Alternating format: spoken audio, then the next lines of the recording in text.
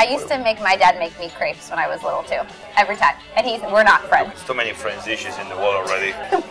Too many French dishes. yeah, we, I mean, we own you a lot, people, but, but too many French dishes. Okay.